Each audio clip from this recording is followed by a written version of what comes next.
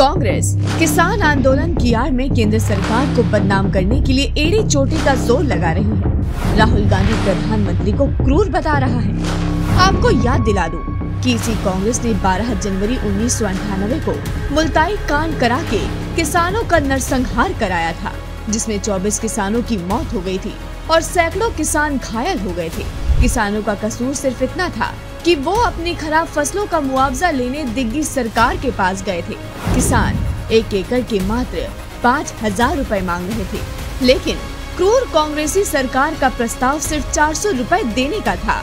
आज फिर यही कांग्रेस नेता इस फर्जी किसान आंदोलन की आड़ में हिंसा भड़काने का काम कर रहे हैं। अपने समय में अन्नदाताओं के खून से होली खेलने वाली कांग्रेस आज नकली किसानों की सगी बनी है।